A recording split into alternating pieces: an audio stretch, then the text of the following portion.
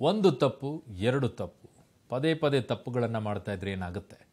ಒಂದು ತಪ್ಪನ್ನು ಸಹಿಸ್ಕೊಳ್ಬೋದು, ಎರಡನೇ ತಪ್ಪನ್ನು ಸಹಿಸ್ಕೊಳ್ಬೋದು ಕ್ಷಮಿಸಲಬಹುದು ಆದರೆ ಮೂರನೇ ತಪ್ಪು, ನಾಲ್ಕನೇ ತಪ್ಪು ಅದನ್ನೇ ಮಾಡ್ತಾ ಹೋದರೆ ಬೆಂಗಳೂರಿನ ಪಾಲಿಕೆ ಮಾಡ್ತಾ ಇರೋದು ಇದನ್ನೇ.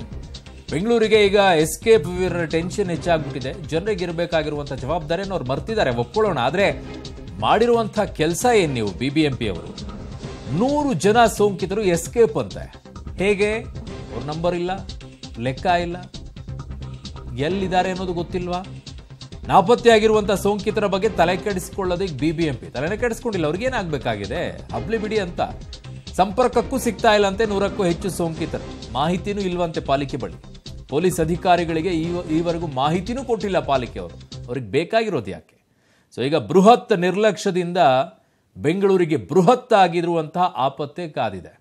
ನನ್ನ ಸಹೋದ್ಯೋಗಿ ಮುರಳಿ ನನ್ನೊಂದಿಗೆ ದೂರವಾಣಿ ಸಂಪರ್ಕದಲ್ಲಿದ್ದಾರೆ ಮುರಳಿ ಯಾಕಿಂಥ ನಿರ್ಲಕ್ಷ್ಯ? ಒಂದು, ಎರಡು ಆಯ್ತು. ಈಗ ಪದೇ ಪದೇ ಇದೇ ತಪ್ಪೆ ಬಿಬಿಎಂಪಿ ಕಡೆಯಿಂದ ಆಗುತ್ತಲ್ಲ, ಯಾಕೆ? ಖಂಡಿತವಾಗಿ ಅವರು ಯಾಕಂದ್ರೆ ಪ್ರಮುಖವಾಗಿ ಬೆಂಗಳೂರಿಗೆ ಸೋಂಕಿತರು, ತಪ್ಪಿಸ್ಕೊಂಡಂತ ಸೋಂಕಿತರು ಏನಂತಾರೆ ಅವರು ದೊಡ್ಡ ಮಟ್ಟದ ತಲೆನೋವಾಗ್ತಾರೆ ಯಾಕಂದ್ರೆ ಈ ಬಾರಿ ಸರ್ಕಾರ ಸೋಂಕು ಹೆಚ್ಚಾಗ್ತಿದಂಗೆ ನೋಡಲ್ ಆಫೀಸರ್ ಏನಿದ್ರು ಅವರನ್ನ ನೇಮಕವನ್ನು ಮಾಡಿದ್ದಾರೆ.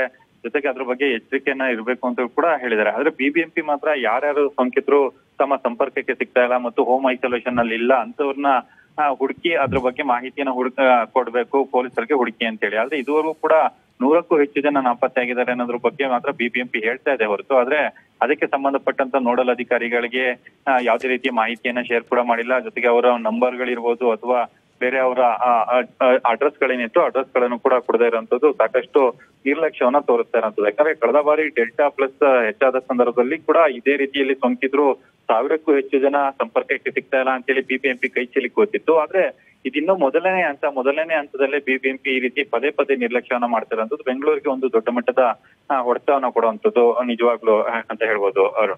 ಓಕೆ ಈ ನಂಬರ್ಸ್ ಎಲ್ಲ ತಗೊಳ್ತಾರಲ್ಲ ಮುರಳಿ. ನಂಬರ್ಗಳನ್ನು ತಗೊಂಡಿರ್ತಾರೆ, ಅವ್ರದ್ದೆಲ್ಲ ಡೀಟೇಲ್ಸ್ ಅನ್ನ ಕಲೆಕ್ಟ್ ಮಾಡ್ಕೊಳ್ತಾರೆ.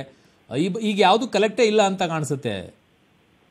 ಅರುಣ್, ಏನಂದ್ರೆ ಒಂದು ಸ್ವಾಪ್ ಟೆಸ್ಟ್ ಅನ್ನ ಮಾಡಿಸೋ ಸಂದರ್ಭದಲ್ಲಿ ಒಂದು ಓ ಟಿ ಪಿ ಬರುತ್ತೆ ನಂಬರ್ ಆ ಸಂದರ್ಭದಲ್ಲಿ ಆ ನಂಬರ್ ಅನ್ನ ಚೆಕ್ ಮಾಡಕ್ಕೋಸ್ಕರನೇ ಆ ಓ ಟಿ ಪಿ ಬರ್ಲಿಕ್ಕೆ ಒಂದು ಆಪ್ಷನ್ ಅನ್ನ ಕೊಡುವಂತದ್ದು ಆ ಸಂದರ್ಭದಲ್ಲಿ ಆ ಓ ಟಿ ಪಿ ಬರ್ತದೆ, ಅದಾದ ನಂತರ ಅವ್ರಿಗೆ ಏನಾದ್ರು ಪಾಸಿಟಿವ್ ಅಂತ ಏನಾದ್ರು ಅವ್ರಿಗೆ ಮೆಸೇಜ್ ಹೋದ್ರೆ ಅಥವಾ ರಿಪೋರ್ಟ್ ಅವ್ರಿಗೆ ಸಿಕ್ಕಿದ್ರೆ ತಕ್ಷಣವೇ ಅವರ ಮೊಬೈಲ್ ಅನ್ನ ಸ್ವಿಚ್ ಆಫ್ ಮಾಡ್ಕೊಳ್ಳುವಂತದ್ದು ಅಥವಾ ಅಡ್ರೆಸ್ಗೆ ಪ್ರೂಫ್ಗೆ ಯಾವುದೇ ರೀತಿಯ ದಾಖಲಾತಿಗಳನ್ನ ಟೆಸ್ಟ್ ಮಾಡುವಾಗ ಪಡ್ಕೊಳ್ಳಲ್ಲ. ಕೇವಲ ಫೋನ್ ನಂಬರ್ ಮಾತ್ರ ಪಡ್ಕೊಳ್ತಾರೆ ಓ ಟಿ ಪಿ ಅನ್ನ ತೆಗೆದುಕೊಂಡು ಟೆಸ್ಟ್ ಅನ್ನ ಮಾಡಿ ಕಳಿಸ್ತಾರೆ.